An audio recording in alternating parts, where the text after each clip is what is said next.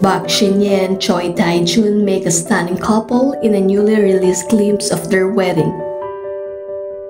The actress agency Salt Entertainment shared the sneak peek of the couple's big day through a series of pre-wedding photos. The two actors who currently expecting their first child will be tying the knot today in a private wedding in Seoul.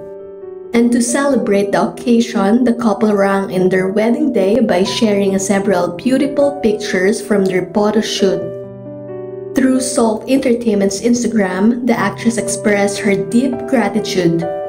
The fans who showed their support for her wedding with longtime boyfriend Choi Tae-jun.